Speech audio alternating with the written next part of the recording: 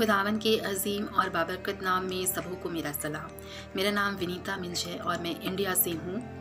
तकरीबन डेढ़ सप्ताह पहले मुझमें कोविड के कुछ लक्षण देखे जा रहे थे, जिसके बाद मैंने बड़े ही विश्वास के साथ साइट्स एंड सॉन्स मिनिस्ट्री में कॉल किया और कॉल करने के बाद खुदा के खादम पास्टर लाजरस ने मेरे लिए दुआ कर दी।